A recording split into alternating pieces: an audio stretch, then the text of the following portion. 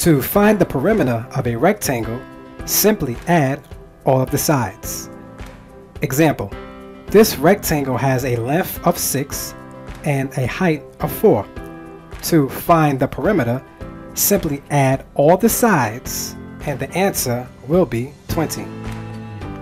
Next example, this rectangle has a length of 10 and a height of 6.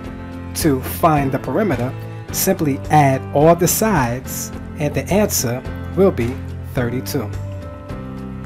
Final example, this rectangle has a length of 20 and a height of 10. To find the perimeter, simply add all the sides and the answer will be 60.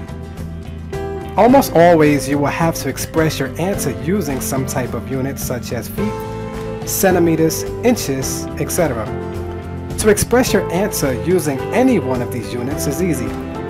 For example, our previous rectangle has a length of 20 feet and a height of 10 feet to find the perimeter, simply add all the sides and the answer will be 60 feet.